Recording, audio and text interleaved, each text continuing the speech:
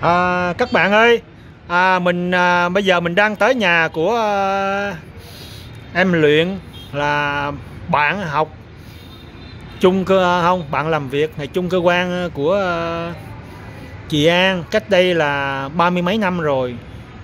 Bây giờ à, mình là mình đang tới nhà của bạn chị An đó là mình đang đang đứng trên cái lầu thứ à, số 10 lầu thứ 15 nè. Ở trên này thì mình nhìn xuống nè để mình quay cho các bạn xem là thủ đô Hà Nội nha. Hà Nội mình đó. Đây nè, phía xa xa là có đang xây dựng cái ờ, đường metro ở trên đó, không biết là cái gì đây. Đó, nhìn đã chưa? Hà Nội ngày nay đấy.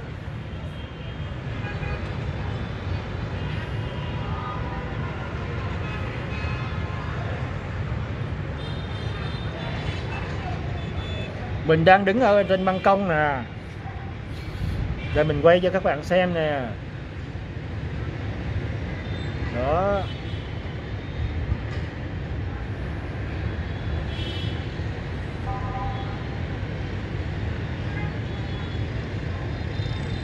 Xa xa là đây nè, con đường ở mấy dưới nè, các bạn thấy chưa? Xe cộ chạy nè, đó tuốt ở dưới nè, đó. À.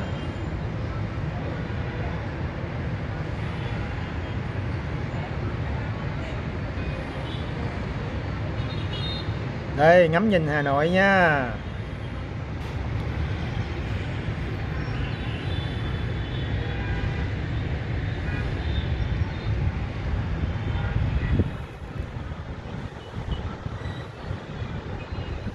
Hà Nội à, 36 phố phường này bây giờ chắc thành à, bốn mươi mấy phố phường rồi.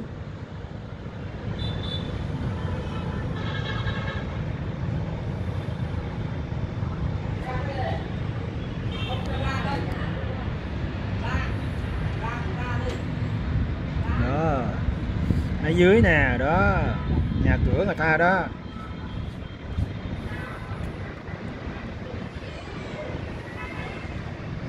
Đây mấy xa xa nè đó. Có cái nhà nhà xa xa mờ mờ đó là cao nhất Hà Nội đó các bạn ơi. Nhà gì à, chị ơi? Rồi chị ra ra đây giới thiệu đi. Nè ra đây giới thiệu cái nhà cao thì cao kia kìa là Cao cái gì? kia là căn căn căn Nam, đó, căn Nam Hàn nha. Quốc đấy, ừ, nhà chung cư đấy. rồi nhà Ờ. chị ở đâu? Chị giới thiệu đi chỉ đi chỗ nào Nhà chị ở xa lắm, chị ở mãi tít là ô chợ dừa cơ.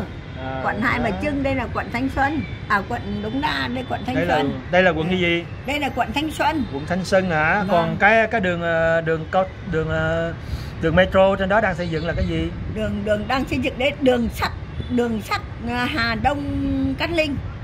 Đường à Cát Linh Hà là Đông Hà Đông Cát Linh. cái đường này là xây dựng mười mấy năm rồi mà không có khai trương được nè các bạn ơi Đúng rồi đấy. Đó phía trước mình đó mình zoom lại cho các bạn xem rồi đó. Đấy. Cát mười mấy năm trời đó của Trung Quốc xây dựng đó. Đúng rồi. Cát Linh Hà Đông nha. Ờ, mà vẫn chưa đi vào sản xuất được. ờ đó. Đường kia đường hoàng cầu ấy à đấy. Đấy. Đường quan nhân ấy à đấy. Các bạn thấy không? Đường dưới này nè quá trời nhiều đường luôn đó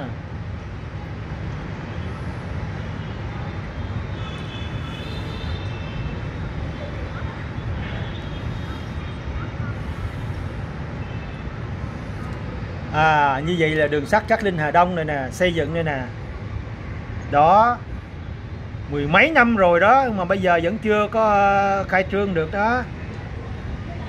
Ghê chưa?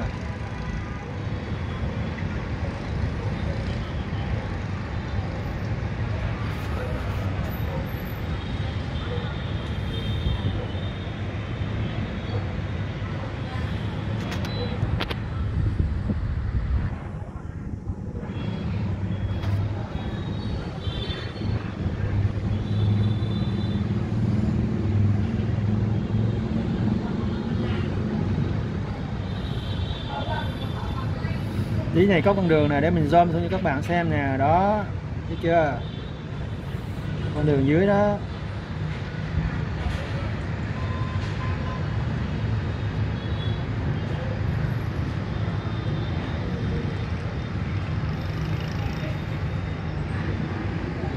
Rồi nha, tới đây thôi mình xin chấm dứt cái video này nha các bạn nha. Rồi à, hẹn gặp lại các bạn cái video lần sau rồi xin chào tạm biệt các bạn nha. Bye bye.